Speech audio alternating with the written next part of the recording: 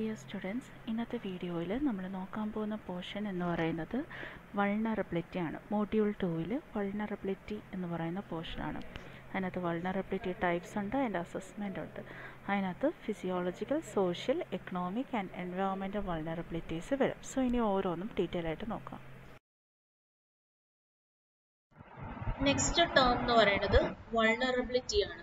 അപ്പോൾ ഇനി എന്താണ് വൾണറബിലിറ്റി നോക്കാം. It is a characteristic and circumstances of a particular community or system or asset that make it susceptible to the damaging effect of hazard.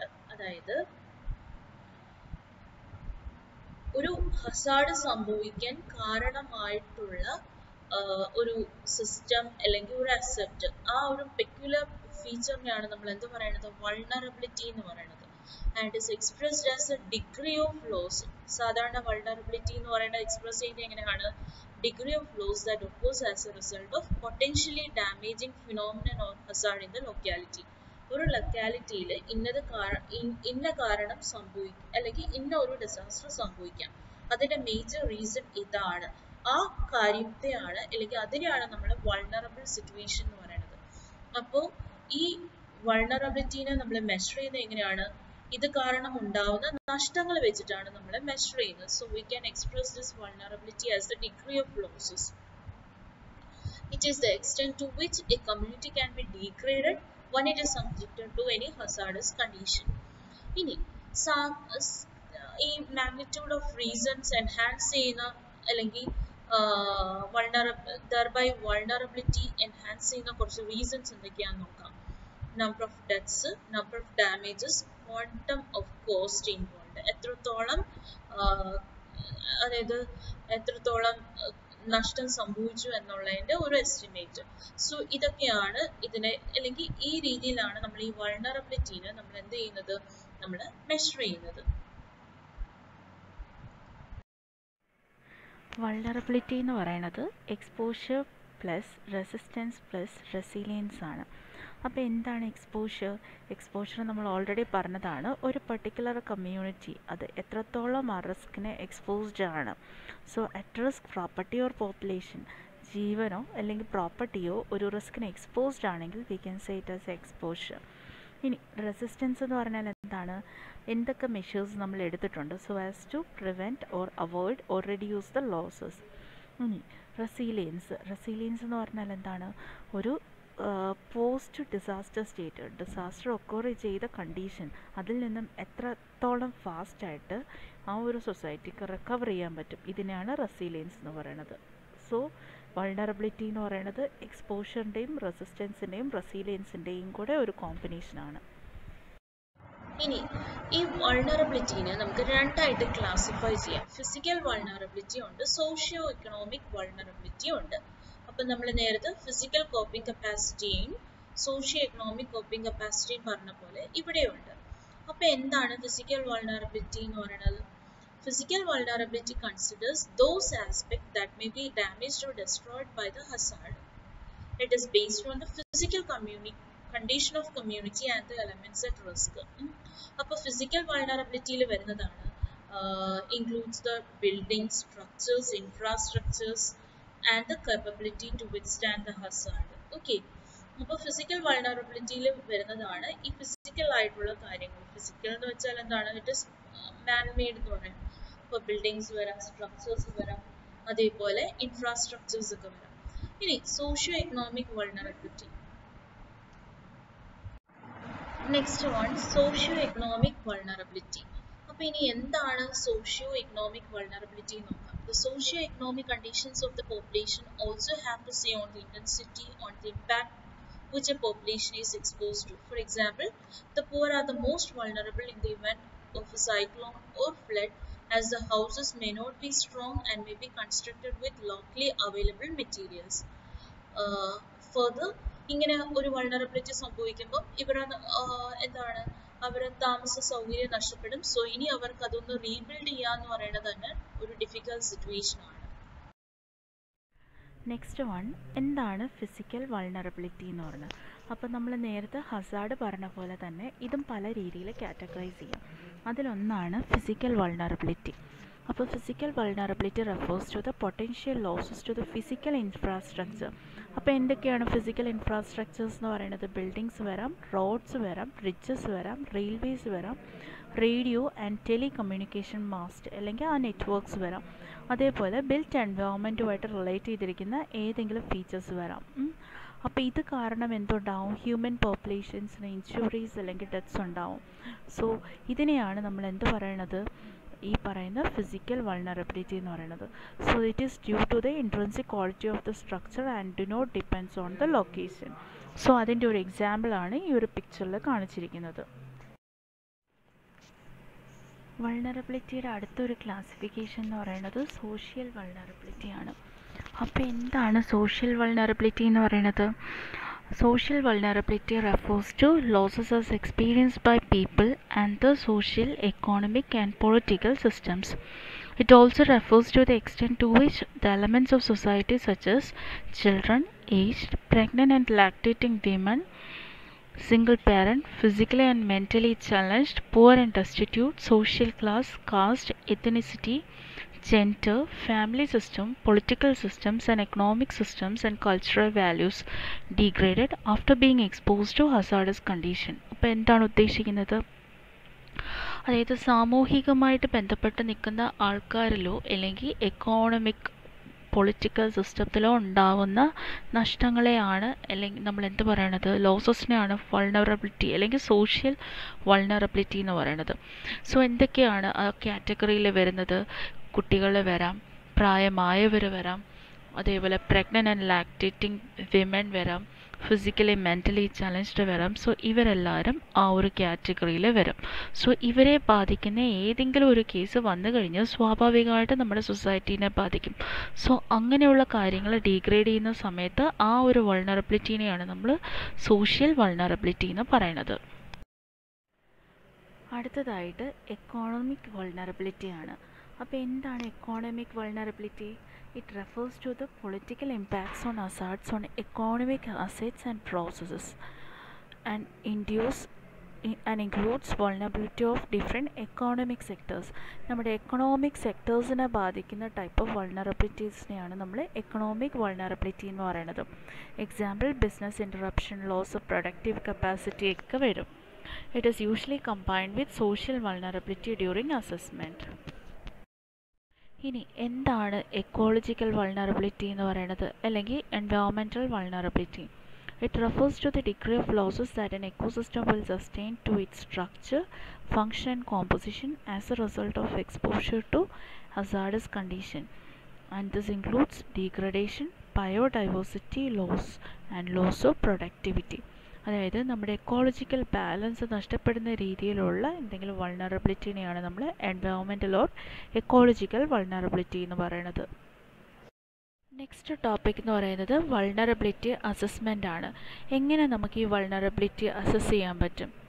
That is vulnerability assessment it refers to the quantification of degree of loss or susceptibility to an element at risk അല്ലേ അതായത് ഒരു റിസ്കിലുള്ള എലമെന്റിനകത്ത് എന്തോരോ നഷ്ടങ്ങൾ ഉണ്ടായി so അതിന്റെ ക്വാണ്ടിഫിക്കേഷനെയാണ് vulnerability assessment എന്ന് പറയുന്നത്. അതിന്റെ method of quantification ഒരു മൂന്നാൽ കാര്യത്തിന് ഡിപ്പെൻഡ് ചെയ്തിരിക്കും. ഏതൊക്കെയാണ്? Type of vulnerability mean measured that is അത് സോഷ്യൽ ആവാം ഫിസിക്കൽ ആവാം എക്കണോമിക് ആവാം എക്കോളജിക്കൽ ആവാം. ഇനി the scale of vulnerability been measured എത്രത്തോളം അതിന്റെ ആക്കം ഉണ്ട്? അല്ലെങ്കിൽ ആഘാതം എത്രത്തോളം ഉണ്ട്? ഇൻഡിവിജ്വൽ ആണോ ഹൗസ് ഹോൾഡ് ആണോ കമ്മ്യൂണിറ്റി ആണോ? ഇനി ടൈപ്പ് ഓഫ് ഹസാഡ് ഇനി ടൈപ്പ് ഓഫ് ഹസാഡ് വരുമ്പോഴത്തേക്ക് ഡിഫറെന്റ് ടൈപ്സ് ഓഫ് ഹസാഡ് വരും. ഡിഫറെന്റ് ടൈപ്സ് ഓഫ് ഹസാഡ് ഉണ്ടാവും. For different methods of quantification ഓരോ ഹസാഡും ഓരോ രീതിയിലാണ് നമ്മളതിനെ ക്വാണ്ടിഫൈ ചെയ്യുന്നത്. സോ ഇത്രയും കാര്യങ്ങളാണ് വൾണറബിലിറ്റി അസസ്മെന്റിൽ വരുന്നത്. Next topic data needed for vulnerability assessment and their usefulness അപ്പോൾ ഈ വൾണറബിലിറ്റി അസസ്മെന്റിന് ആവശ്യമായിട്ടുള്ള ഡേറ്റാസ് എന്തൊക്കെയാണ്?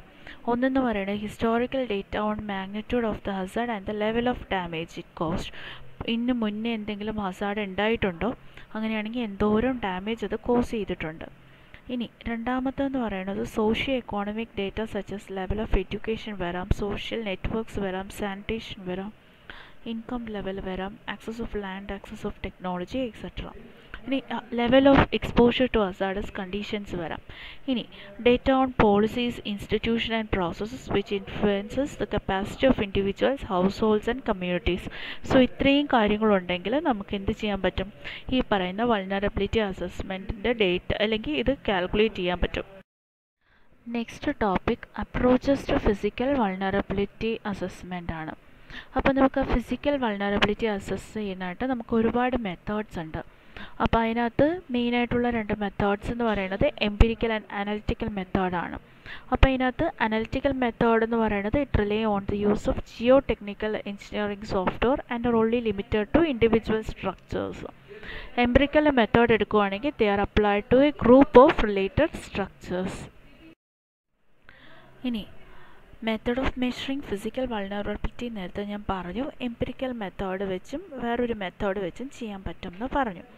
അപ്പോൾ ഇങ്ങനെയാണെങ്കിൽ നമ്മൾ സാധാരണഗതിയിൽ ഇതിനെ രണ്ട് കാറ്റഗറി ആയിട്ട് ഡിവൈഡ് ചെയ്യാം. രണ്ട് ആദ്യത്തെ കാറ്റഗറിയാണ് ഇത് ഇനി അതിന്റെ മെത്തേഡാണ് it is analysis of observe damage it is based on the collection analysis of statistic of damage that occur in reason and historic events അപ്പം ഈ തൊട്ട് മുന്നേ നടന്നിട്ടുള്ള ഹിസ്റ്റോറിക് ഇവന്റ്സ് എടുത്ത് നമ്മൾ എന്ത് ചെയ്യും? അവിടെ എന്തോരം വൾണറബിലിറ്റി വൾണറബിലിറ്റീസ് ഡാമേജസ് റൈസ് ചെയ്തു എന്നുള്ളത് നോക്കും. ഇനി എംപിരിക്കൽ മെത്തേഡ് എടുക്കുവാണെങ്കിൽ രണ്ട് രീതിയിൽ നമ്മൾ എടുക്കും. ഒന്നെന്ന് പറയുന്നത് എക്സ്പേർട്ട് ഒപ്പീനിയൻ എടുക്കും. രണ്ടാമത് സ്കോർ അസസ് അസൈൻമെന്റ് ഉണ്ട്. അപ്പം നമ്മൾ എന്താണ് ഈ എക്സ്പേർട്ട് ഒപ്പീനിയൻ എന്ന് പറയുന്നത് it is based on asking groups of expert and vulnerability to give their opinion that is the percentage damage they expect for the different structural types having different intensities of hazard. ഓരോ structural ഹസാർഡ്സിനും ഓരോ intensity ആയിരിക്കും. So അങ്ങനെയാണെങ്കിൽ എക്സ്പേർട്സിന്റെ datas നമ്മൾ collect ചെയ്യും. Okay this is meant to come to a good assessment of vulnerability and this method is time consuming and subjective. Reassessment of vulnerability after building, upgrading or repair are difficult to accommodate. Any score assignment method using a questionnaire with different parameters to access the potential damage in relation to different hazard levels. Score assignment method എന്ന് പറയുന്നത് update ചെയ്യാൻ ഈസിയാണ് example if you think about earthquake vulnerability before and after application of retrofitting. So ഇതൊക്കെ അതിനകത്ത് വരുന്ന examples ആണ്. So empirical methods രണ്ട് രീതിയിൽ ചെയ്യാം. നമുക്ക് എന്ത് ചെയ്യാം? ഒന്നെന്ന് പറയുന്നത് എക്സ്പേർട്ട് ഒപ്പീനിയൻ കളക്ട് ചെയ്യാം. രണ്ടാമത് സ്കോർ അസൈൻമെന്റ് അപ്പോൾ സ്കോർ അസൈൻമെന്റ് എന്ന് പറയുന്നത് വേറൊന്നുമല്ല. കുറേ സെറ്റ് ഓഫ് പാരാമീറ്റേഴ്സ് സെറ്റ് ചെയ്തിട്ട് ഒരു ക്വസ്റ്റനർ പോലെ പ്രിപ്പയർ ചെയ്യും. എന്നിട്ട് അതിന്റെ അനാലിസിസും കാര്യങ്ങളും എടുത്ത് നമ്മൾ ഇവാലുവേറ്റ് ചെയ്യും. ഇനി അടുത്തൊരു മെത്തേഡ് എന്ന് പറയുന്നതാണ് അനലിറ്റിക്കൽ മോഡൽ എന്ന് പറയുന്നത്. അപ്പോൾ അനലിറ്റിക്കൽ മോഡലിൽ രണ്ട് രീതിയിലുണ്ട്. ഒന്ന് സിമ്പിൾ അനലിറ്റിക്കൽ മോഡലും രണ്ടാമത്തെ ഡീറ്റെയിൽ അനലിറ്റിക്കൽ മോഡലും അപ്പോൾ സിമ്പിൾ അനലിറ്റിക്കൽ മോഡൽ എന്ന് പറയുന്നത് studying the behaviour of building structures based on engineering design criteria പിന്നെ അതിനെ അനലൈസ് ചെയ്യുക. എത്രത്തോളം ലോഡ് താങ്ങാൻ പറ്റും. അതിന്റെ failure of likelihood of failures എന്തൊക്കെയാണ്. സോ ഇതൊക്കെ നമ്മൾ ജിയോ ടെക്നിക്കൽ എഞ്ചിനീയറിംഗിന്റെ കൺസെപ്റ്റ് യൂസ് ചെയ്തിട്ട് നമ്മൾ അനലൈസ് ചെയ്യുന്നു. ഇനി അനലിറ്റിക്കൽ ഡീറ്റെയിൽഡ് അനലിറ്റിക്കൽ മെത്തേഡ് എന്താണ്? It is a somewhat a complex method നമ്മൾ സിമ്പിൾ വെച്ച് നോക്കുമ്പോൾ ഇത് ലേശം കോംപ്ലക്സ് ആണ് ടൈം കൺസ്യൂമിംഗ് ആണ്. അപ്പോൾ ഇത് അനലൈസ് ചെയ്യാനായിട്ട് നമുക്ക് എന്ത് വേണം? ലോട്ട്സ് ഓഫ് ഡീറ്റെയിൽ ഡേറ്റ വേണം. And will be use for assessment of individual structures അതായത് സിമ്പിൾ മോഡൽസ് ഒന്നും പറ്റത്തില്ല. ഡീറ്റെയിൽ സ്റ്റഡി തന്നെ ഇതിനകത്ത് വേണ്ടി വരും. അടുത്തതായിട്ട് how we can measure socio economic vulnerability so അങ്ങനെ സോഷ്യോ എക്കണോമിക് വൾണറബിലിറ്റി മെഷർ ചെയ്യാൻ വേണ്ടിയിട്ടുള്ള മെത്തേഡ്സ് എന്തൊക്കെയാണ്? ഒന്നെന്ന് പറയുന്നത് എന്താണ്? First we are having identify the elements for vulnerability assessment അപ്പോൾ ഈ സോഷ്യോ എക്കണോമിക് വൾണറബിലിറ്റി കോസ് ചെയ്യാനുള്ള എലമെന്റ്സ് ഫാക്ടേഴ്സ് എന്തൊക്കെയാണെന്ന് ഐഡന്റിഫൈ ചെയ്യും. എന്നിട്ട് എക്സ്പോഷർ കണ്ടീഷൻ ടെസ്റ്റ് ചെയ്യും. അതായത് rank the identified individuals household or communities based on the levels of exposure to a given hazard അപ്പോൾ ഈ എക്സ്പോഷറിന് ഫേസ് ചെയ്തിട്ടുള്ള അല്ലെങ്കിൽ എക്സ്പോസ്ഡ് ആയിട്ടുള്ള ഇൻഡിവിജ്വൽസോ ഹൗസ് ഹോൾഡ് കമ്മ്യൂണിറ്റീസിനെ നമ്മൾ ഡേറ്റാബേസിൽ ഇൻക്ലൂഡ് ചെയ്യും. എന്നിട്ട് select set of socio economic indicators നമ്മൾ സെറ്റ് ചെയ്യും. At appropriate scale cutting across the five types of livelihood hazard. അപ്പോൾ ഒരു നമ്മൾ ഈ സോഷ്യോ എക്കണോമിക് ഇൻഡിക്കേറ്റേഴ്സും കാര്യങ്ങളും ഉണ്ട്. സോ അതിനെ ബേസ് ചെയ്ത് നമ്മൾ എന്ത് ചെയ്യും? കുറച്ച് ഇൻഡിക്കേറ്റേഴ്സ് സെറ്റ് ചെയ്യും. എന്നിട്ട് ഇതിനെ ബേസ് ചെയ്ത് ആൾക്കാരെ നമ്മൾ പല റാങ്കിൽ കാറ്റഗറൈസ് ചെയ്യും. എന്നിട്ട് നമ്മളത് ലോ വൾണറബിലിറ്റി ആണോ മോഡറേറ്റ് വൾണറബിലിറ്റി ആണോ ഹൈ വൾണറബിലിറ്റി ആണോ എന്നുള്ളത് അതായത് ലോ ആണോ മീഡിയം ആണോ സിവിയർ വൾണറബിലിറ്റി ആണോ എന്നുള്ള രീതിയിൽ നമ്മളതിനെ കാറ്റഗറൈസ് ചെയ്യും. സോ ഈ ഡേറ്റാസിന്റെയും കാര്യങ്ങളും എല്ലാം നമ്മൾ എന്ത് ചെയ്യും? പല സ്ട്രാറ്റജീസ് യൂസ് ചെയ്ത് അനലൈസ് ചെയ്ത് പല policies institutions as well as പല ഇൻസ്റ്റിറ്റ്യൂഷൻ പോളിസീസ് യൂസ് ചെയ്ത് നമ്മൾ അതിനെ അനലൈസ് ചെയ്ത് പ്രോസസ്സ് ചെയ്യും. സോ ഈ രീതിയിലാണ് നമ്മൾ എന്ത് ചെയ്യുന്നത്? സോഷ്യോ എക്കോണമിക് വൾണറബിലിറ്റീനെ അനലൈസ് ചെയ്യുന്നത്. തൊട്ട് മുന്നേ നമ്മൾ പറഞ്ഞിരുന്നു കുറച്ച് സോഷ്യോ എക്കണോമിക് ഇൻഡിക്കേറ്റേഴ്സ് എന്ന് പറഞ്ഞു. അപ്പോൾ ആ ഇൻഡിക്കേറ്റേഴ്സ് ആണ് അഞ്ച് indicators human capital natural capital social capital physical and financial capital ഈ ഹ്യൂമൻ ക്യാപിറ്റലിനകത്ത് വരുന്ന ഒരു ഒന്ന് രണ്ട് സെറ്റാണ് ഈ കാണിച്ചിരിക്കുന്നത്. എന്തൊക്കെയാണ്? ഹെൽത്ത് ന്യൂട്രീഷൻ അതേപോലെ ഇനി വരുന്ന സ്ലൈഡിലും വരും. അപ്പോൾ ലാൻഡ് ആൻഡ് പ്രൊഡ്യൂ അവിടെ ഉണ്ടാവുന്ന നമുക്ക് അവിടെ നിന്ന് കിട്ടുന്ന ഈൽഡ് വാട്ട് അതൊക്കെ നാച്ചുറൽ ക്യാപിറ്റലാണ് വാട്ടർ ആൻഡ് അക്വാറ്റിക് റിസോഴ്സസ് പിന്നെ സോഷ്യലിനകത്ത് വരുന്നതാണ് നെറ്റ്വർക്ക്സ് കണക്ഷൻസ് പാട്രണേജ് ഒക്കെ. സോ ഇതൊക്കെയാണ് financial as well as physical capital എന്ന് പറയുന്നത്. സോ തൊട്ട് മുന്നത്തെ സ്ലൈഡിന്റെ ഒരു കണ്ടിന്യൂവേഷനാണിത് സോ ഇവിടെയും കുറച്ച് examples of human natural social physical and financial capitals കൊടുത്തിട്ടുണ്ട്. സോ ഇതൊക്കെ അതിന്റെ കുറച്ച് സെറ്റ് ഓഫ് എക്സാമ്പിൾസ് ആണ് for reference next one method of representing vulnerability അപ്പം നമ്മൾ വൾണറബിലിറ്റി സ്റ്റഡി ചെയ്ത് കഴിഞ്ഞാൽ നമുക്ക് എന്ത് വേണം? അതിനെ നമുക്ക് റെപ്രസെന്റ് ചെയ്യണം. അപ്പം സാധാരണഗതിയിൽ റെപ്രസെന്റ് ചെയ്യുന്നത് ഈ പറയുന്ന മൂന്ന് പാരാമീറ്റേഴ്സിൽ ഏതെങ്കിലും യൂസ് ചെയ്തിട്ടാണ്. വൾണറബിലിറ്റി ഇൻഡിസസ് ഉണ്ടാവും ടേബിൾ ഉണ്ടാവും കർവ് ഉണ്ടാവും. അപ്പോൾ വൾണറബിലിറ്റി ഇൻഡിസസ് എന്ന് പറയുന്നത് it is based on indicators of vulnerability അതിന്റെ ഇൻഡിക്കേറ്റേഴ്സിനെ ബേസ് ചെയ്തിട്ടാണ്. ടേബിൾ എന്ന് പറയുന്നത് എന്താണ്? It shows the relation between hazard intensity and degree of damage can cause അതിന്റെ എല്ലാം ടേബിളായിട്ട് നമ്മൾ എന്ത് ചെയ്യും? ഇൻഡിക്കേറ്റ് ചെയ്യും. ഇനി വൾണറബിലിറ്റി കർവ് എന്താണ്? These are construct on the base of relation between hazard and intensities and damage data അപ്പോൾ വൾണറബിലിറ്റി കർവ്സിനകത്ത് എന്തൊക്കെ വരും? റിലേറ്റീവ് കർവ് വരും അബ്സലൂട്ട് കർവ് വരും ഫ്രിജിലിറ്റി കർവ് വരും. അപ്പോൾ relative കർവിനകത്ത് they shows the percentage of property value as the damage share of the total share to the they they shows the percentage of property value as the damage share of the total value to hazard intensity so ഈ ഒരു parameter relation ആണ് relative കർവിൽ കാണിക്കുന്നത് absolute കർവിൽ it shows the absolute amount of damage depending on the hazard intensity And in the fragility curve എന്ത് കാണിക്കും provide probability of for a particular group of elements address to be in or exceeding a certain damage state എന്നത് given hazard intensity so ഇങ്ങനെ ഒരു relative ആയിട്ടുള്ള vulnerability കർവാണ് ഇവിടെ കാണിച്ചിരിക്കുന്നത്. ഒരു particular building type അല്ലെങ്കിൽ ഒരു ഫ്ലഡ് ഇവന്റിന് ശേഷമുള്ള കറസ്പോണ്ടിങ് ആയിട്ടുള്ള വൾണറബിലിറ്റി കർവാണ് ഡാമേജ് വേഴ്സസ് വാട്ടർ ഡെപ്ത് എന്നാണ്. ഓക്കെ ഇത് വാട്ടർ ഡെപ്ത് ഇൻഡിക്കേറ്റ് ചെയ്യുന്ന ഫ്ലഡ് കാരണം ഉണ്ടായ ഒരു വൾണറബിലിറ്റി ആയതുകൊണ്ടാണ് വാട്ടർ ഡെപ്ത് ഇവിടെ കാണിച്ചിരിക്കുന്നത്. ഓക്കെ സോ അതിന്റെ ഒരു ഇലസ്ട്രേഷനാണ് ഈ കാണിച്ചിരിക്കുന്നത്. താങ്ക്